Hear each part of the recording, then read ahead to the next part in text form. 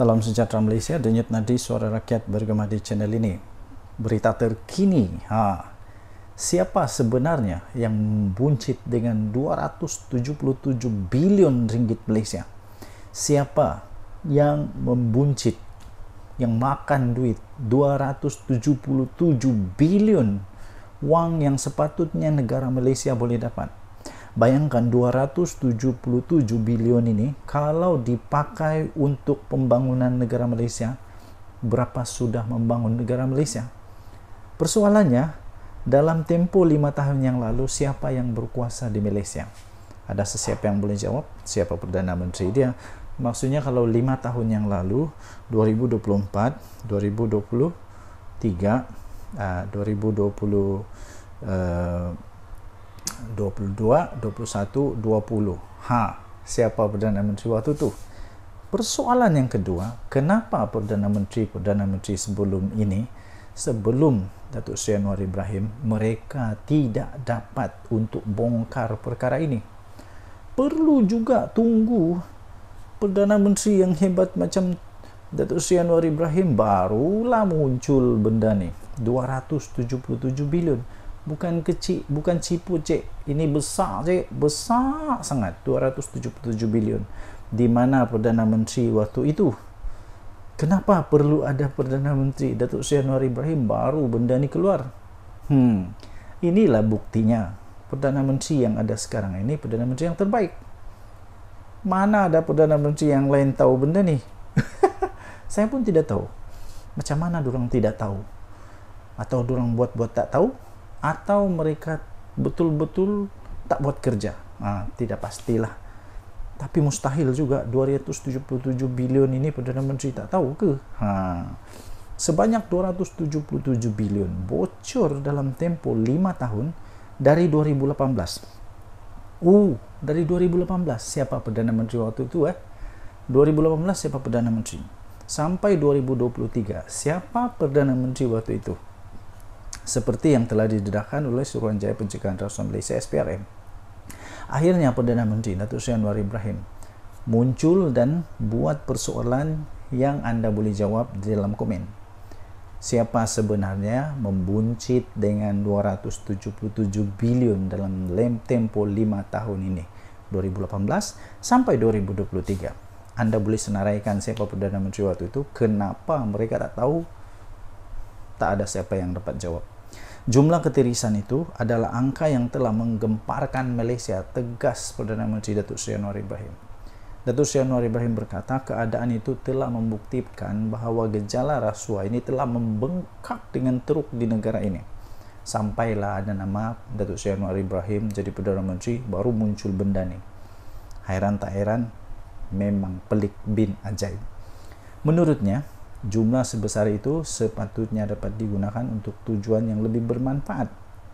Ini termasuklah untuk pembasmian kemiskinan, pembinaan infrastruktur seperti sekolah dan hospital, serta untuk membantu golongan yang memerlukan.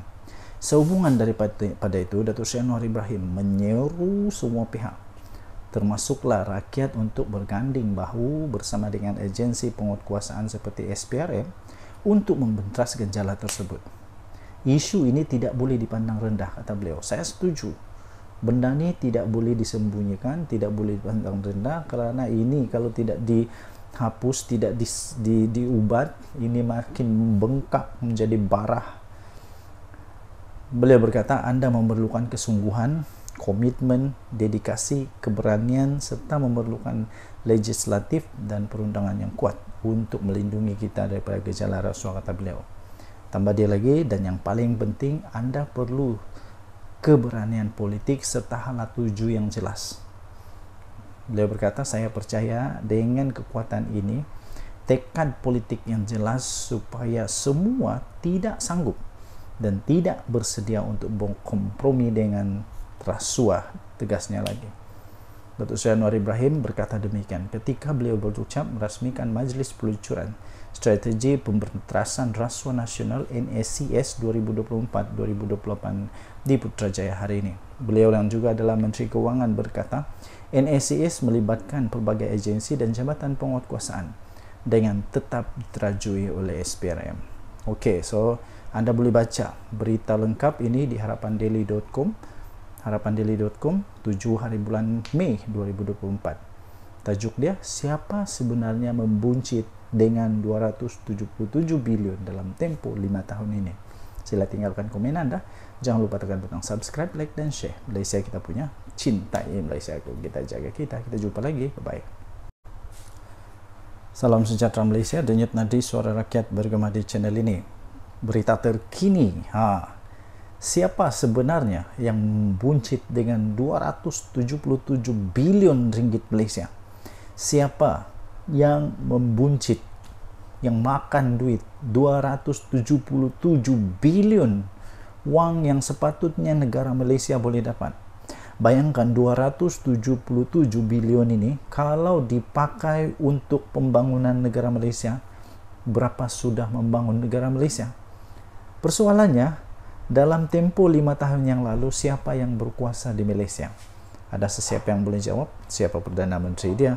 Maksudnya kalau lima tahun yang lalu, 2024, 2023, uh, 2020, uh, 22, 21, 20. Ha, siapa Perdana Menteri waktu itu? Persoalan yang kedua, kenapa Perdana Menteri Perdana Menteri sebelum ini sebelum Datuk Seri Anwar Ibrahim mereka tidak dapat untuk bongkar perkara ini perlu juga tunggu Perdana Menteri yang hebat macam Datuk Seri Anwar Ibrahim barulah muncul benda ni 277 bilion bukan kecil bukan cipu cek ini besar cek besar sangat 277 bilion di mana Perdana Menteri waktu itu Kenapa perlu ada Perdana Menteri Datuk Seri Anwar Ibrahim baru benda ni keluar? Hmm, inilah buktinya. Perdana Menteri yang ada sekarang ini Perdana Menteri yang terbaik. Mana ada Perdana Menteri yang lain tahu benda ni? Saya pun tidak tahu. Macam mana orang tidak tahu? Atau orang buat-buat tak tahu? Atau mereka betul-betul tak buat kerja? Ah, tidak pastilah tapi mustahil juga 277 bilion ini Perdana Menteri tak tahu ke ha. sebanyak 277 bilion bocor dalam tempo 5 tahun dari 2018 uh, dari 2018 siapa Perdana Menteri waktu itu eh? 2018 siapa Perdana Menteri? Sampai 2023 siapa Perdana Menteri waktu itu? Seperti yang telah didedahkan oleh Suruhanjaya Pencegahan Rasuah Malaysia SPRM Akhirnya Perdana Menteri Datuk Seri Anwar Ibrahim muncul dan buat persoalan yang anda boleh jawab di dalam komen. Siapa sebenarnya membuncit dengan 277 bilion dalam lem tempo 5 tahun ini 2018 sampai 2023. Anda boleh senaraikan siapa Perdana Menteri waktu itu, kenapa mereka tak tahu? Tak ada siapa yang dapat jawab. Jumlah ketirisan itu adalah angka yang telah menggemparkan Malaysia, tegas Perdana Menteri Datuk Seri Anwar Ibrahim. Datuk Seri Anwar Ibrahim berkata keadaan itu telah membuktikan bahawa gejala rasuah ini telah membengkak dengan teruk di negara ini. Sampailah ada nama Datuk Seri Anwar Ibrahim jadi Perdana Menteri, baru muncul benda ni. Hairan tak heran, memang pelik bin ajaib. Menurutnya, jumlah sebesar itu sepatutnya dapat digunakan untuk tujuan yang lebih bermanfaat. Ini termasuklah untuk pembasmian kemiskinan, pembinaan infrastruktur seperti sekolah dan hospital, serta untuk membantu golongan yang memerlukan. Sehubungan daripada itu, Datuk Seri Anwar Ibrahim menyeru semua pihak, termasuklah rakyat untuk berganding bahu bersama dengan agensi penguatkuasaan seperti SPRM untuk membentas gejala tersebut. Isu ini tidak boleh dipandang rendah kata beliau. Saya setuju. Benda ini tidak boleh disembunyikan tidak boleh dipandang rendah kerana ini kalau tidak dihapus tidak di, di, diubat ini makin membengkak menjadi barah. Beliau berkata anda memerlukan kesungguhan komitmen dedikasi keberanian serta memerlukan legislatif dan perundangan yang kuat untuk melindungi kita daripada gejala rasuah kata beliau Tambah dia lagi dan yang paling penting anda perlu keberanian politik serta hala tuju yang jelas. Beliau berkata saya percaya dengan kekuatan ini tekad politik yang jelas supaya semua tidak sanggup dan tidak bersedia untuk berkompromi dengan rasuah tegasnya lagi.